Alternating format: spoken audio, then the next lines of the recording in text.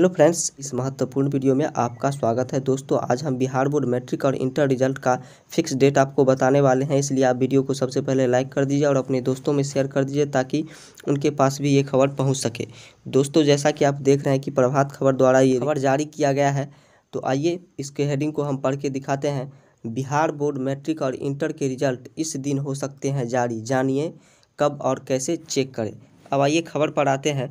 तो आप देख रहे हैं बिहार बोर्ड मैट्रिक और इंटर की परीक्षा का रिज़ल्ट होली से पहले जारी हो सकता है। बिहार इंटर की कॉपियों की जाँच खत्म हो गई है।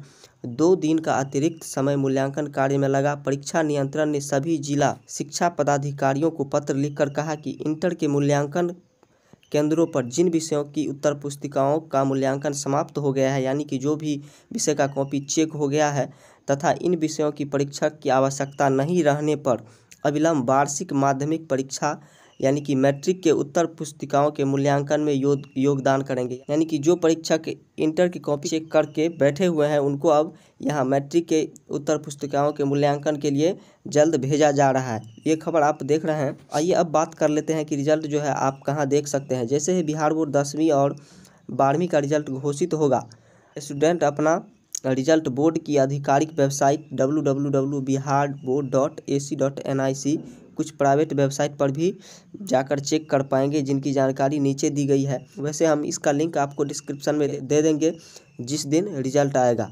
तो आज के लिए इतना ही रखते हैं। Thank you.